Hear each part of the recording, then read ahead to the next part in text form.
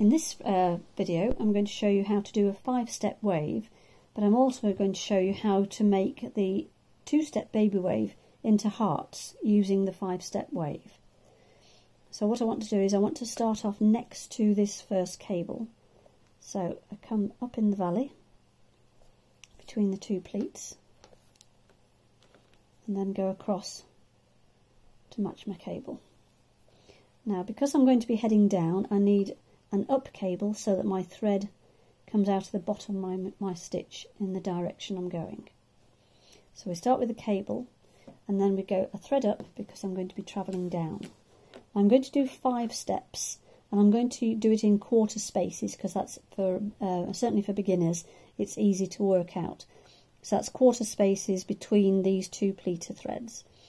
So we pick up quarter space on that first pleat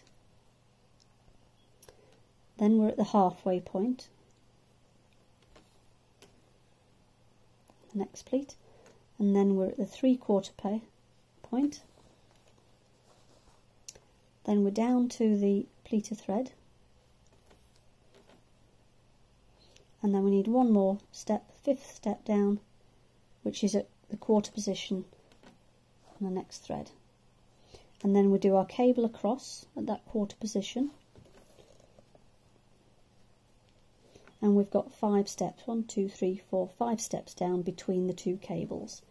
And then we thread down to do the same to go back up. So first step is on the pleater thread.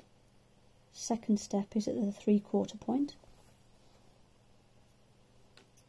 Third step at the halfway point.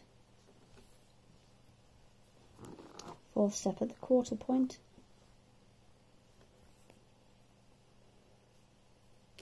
and then we're up to our cable. And we finish off our cable,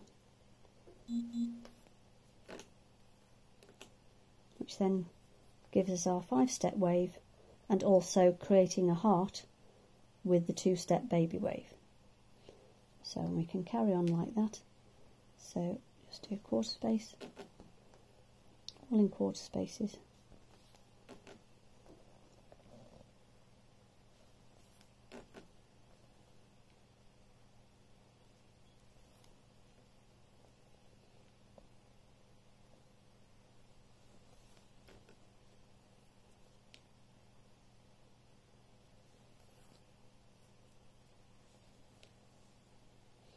Down to the cable and then we start doing our steps back up again. So we do five steps down and five steps back up again. And just alternating our fabric, our thread, sorry, before in the direction we're going.